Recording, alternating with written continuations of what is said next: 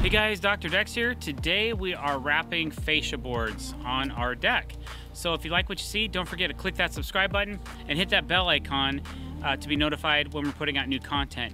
Did you know that 80% of our audience that watches our videos does not subscribe to our channel? Wow, that's a lot. So if you haven't, please click that subscribe button. It means the world to us. And uh, besides that, let's see how we're doing. Uh, I'll lead you back from Friday. The guys had installed three of the stair levels of fascia. We're just getting to the top one right now. So uh, we had a couple of issues. We had to sand out a couple things and file out some stuff and we got that handled. So now we're just gonna finish up this last piece. Once that's done, then we need to wrap the lower deck so that I can finish the side pieces of the staircase once that's done, then we can finish wrapping the top of the deck. So that's the plan today. That's probably what we're gonna get to and that's our goal. So follow along, see how we do. If you have any questions, drop them below. I'll try to get back to you in a timely fashion. Don't forget to check out our shorts as well. They're usually at the bottom of our page.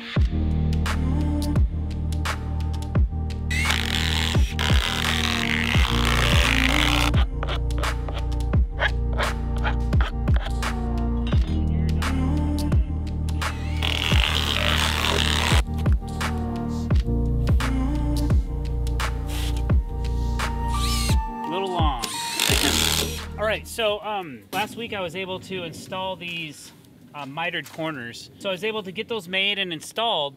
So what happens is once these corners are on, we're adding another layer of fascia around the deck and we're using a, a piece of decking, okay?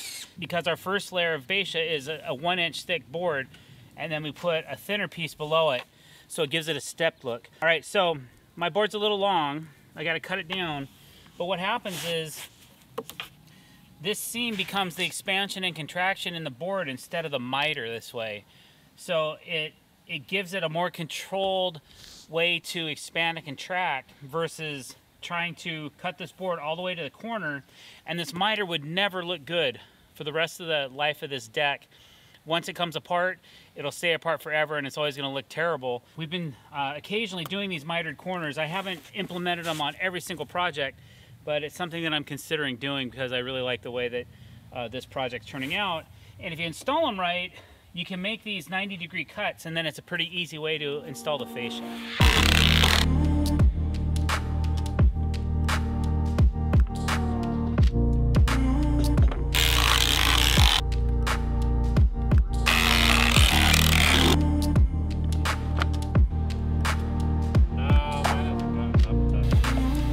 Come through here and uh, because of our overhang and our deck board when I put these bottom screws in our deck board kind of slanted. So I think you've filmed me doing this before but sometimes with Cortex you can pull it out like so and it straightens out a little bit but because I need to straighten out so much the reverse threads of the screw isn't really going to hold this in.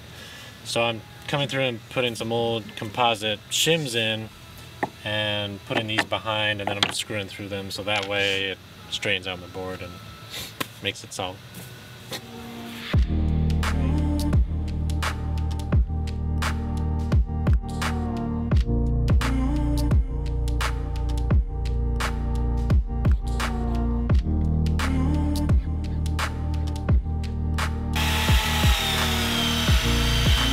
All right, so we have all of the front pieces of fascia on our stairs and uh, we have the lower deck fascia, the first layer of that on as well. And so now I need to kind of connect the two together with some side stair fascia, which I'm getting ready to make right now. And while I'm doing that, Nazi is finishing up the uh, last piece of the lower deck fascia. And then uh, he's gonna start filling all the corks while I'm trying to make these parts because these take a minute. Uh, usually I attach these before we have all this stuff installed because it was such a large staircase and because of the curves and all the complexity of all the fascia I decided to wait until it was done so I just sanded all these out I'll have a little G-tape to put in here but I sanded everything out so it's nice and flat all the way down here so I can put a board on the side of this and have a rise to it and make it'll look really nice that way. I'm gonna use some multi-width here and then as I get down I'm gonna do a return down onto the top of this piece right here. So that's what I'm up to. Stay tuned and see how that turns out.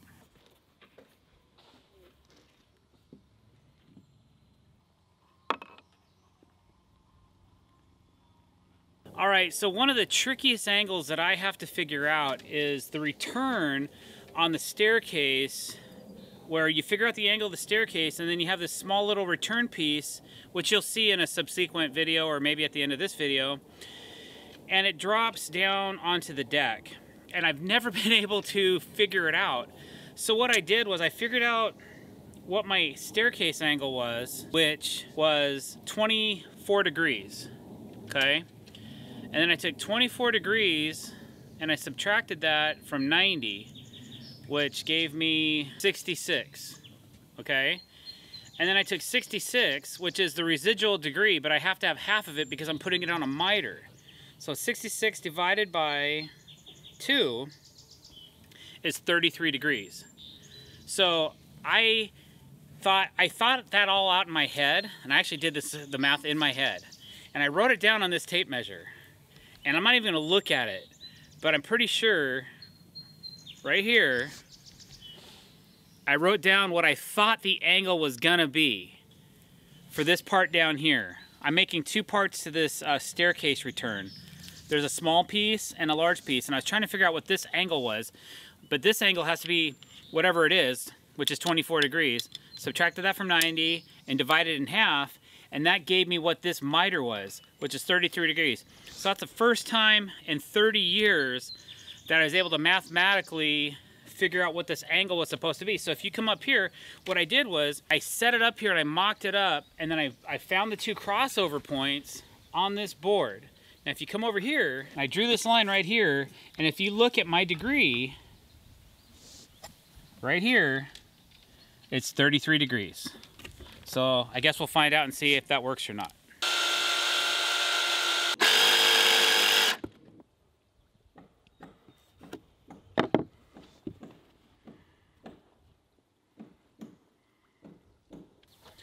All right, so obviously this is sticking up too high, right? So normally I would cut this flush and paint it. I have some color matched end grain paint that matches this color of this deck board.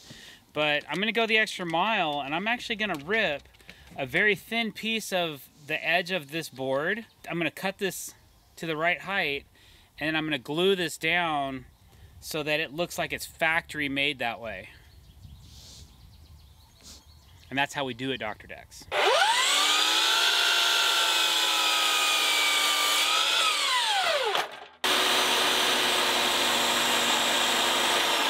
So what I'm to do is I'm to take this piece of the end of a deck board that I just ripped down and I'm to file this out and I'm actually to glue it right to the top of this so it looks like a factory edge.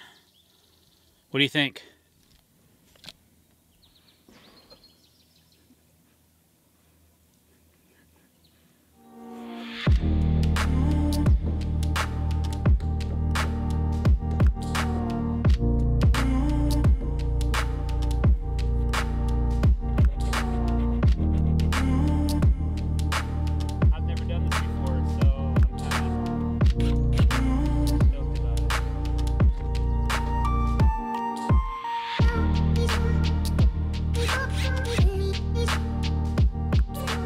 Alright guys, thanks for watching. I really appreciate it. Hope you enjoyed our fascia details today. If you like what you saw, please, please, please click that subscribe button. And if you want to be notified when we're putting out new content, which is usually three days a week, hit that bell icon as well. Don't forget to comment on our videos and also like them if you please. Thank you very much guys. Have a great day. Thanks for watching our channel.